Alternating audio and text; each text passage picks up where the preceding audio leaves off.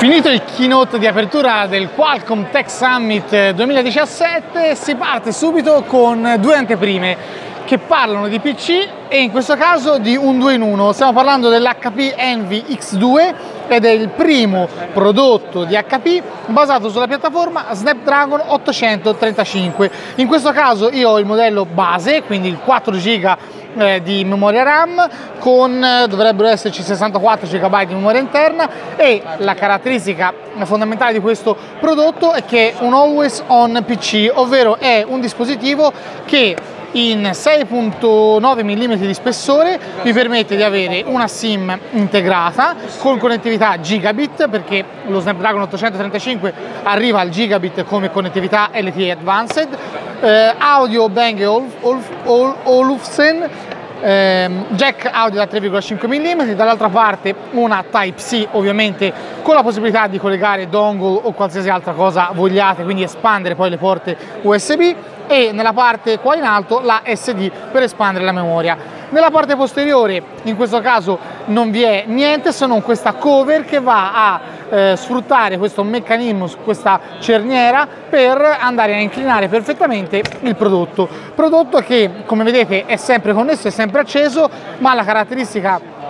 fondamentale è che lo Snapdragon 835 è fondamentalmente il motore che muove gli smartphone fino ad oggi. In questo caso su un computer permette di avere un'autonomia tendenzialmente record per questa tipologia di prodotti. Eh, durante la presentazione in vari momenti è stato eh, mostrato come grazie a, eh, allo Snapdragon 835 a 10 nanometri sia possibile arrivare fino a 22 ore di riproduzione video in pratica la giornata intera di utilizzo lavorativo la si fa e per utilizzo lavorativo non intendo soltanto Windows 10S che vi permette di installare solo le applicazioni presenti all'interno dello store, ma è possibile anche andare a fare un upgrade gratuito fino mi sembra a fine anno eh, di Windows 10 Pro. Quindi basta cliccare Get e voi avrete su piattaforma Snapdragon 835 la versione completa desktop di Windows 10 che vi permette in pratica di andare a installare per esempio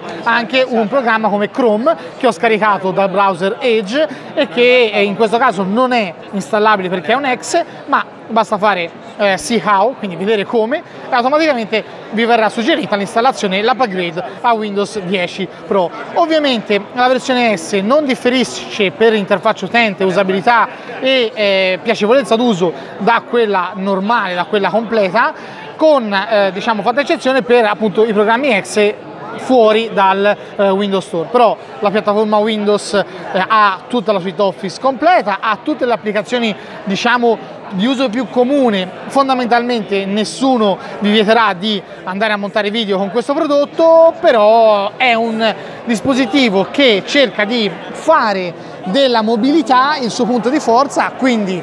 probabilmente in pochi andranno a montare video con uno Snapdragon 835, ma di sicuro in molti, me compreso, vorranno un prodotto Windows che dalle 8 la mattina alle 22 della sera riesce ad essere connesso e con batteria carica. Maggiori informazioni e dettagli nell'articolo in descrizione, mi raccomando continuate a seguirmi perché qui dal Qualcomm Tech Summit siamo solo all'inizio. Ciao!